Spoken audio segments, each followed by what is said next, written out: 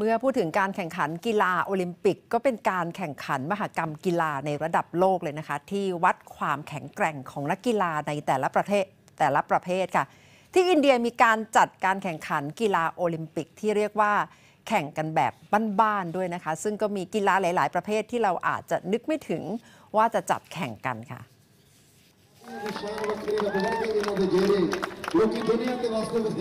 ผู้เข้าแข่งขันแข่งความแข็งแรงของฟันนะคะ ด้วยการแข่งขันลากรถยนต์ ไปจนถึงรถแวนขนาดเล็กที่มีคนนั่ง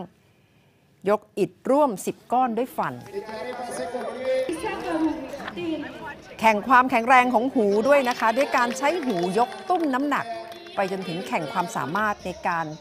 อ่านหนังสือพิมพ์ ขณะขับรถมอเตอร์ไซค์ และแสดงร่มบินในการแข่งขันโอลิมปิกแบบบ้านๆค่ะ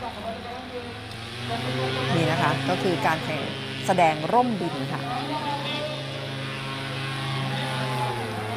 การแข่งขันใช้เวลา 3 วันนะคะ จัดเป็นประจำทุกปีทางตอนเหนือของรัฐปัญจาบของอินเดีย ซึ่งมีการแข่งขันมากถึง 40-50 ประเภท ในช่วงโควิด -19 การแข่งขันโอลิมปิกแบบบ้านๆ ต้องหยุดจัดไปนานถึง 4 ปี รวมไปถึงคำสั่งห้ามแข่งขันกีฬาบางประเภท อย่างแข่งวัวเทียมเกวียน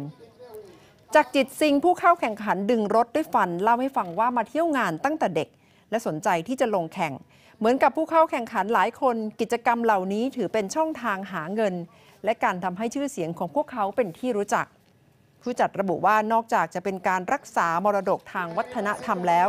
ถือเป็นพื้นที่ที่ให้ผู้สนใจมาแสดงความสามารถ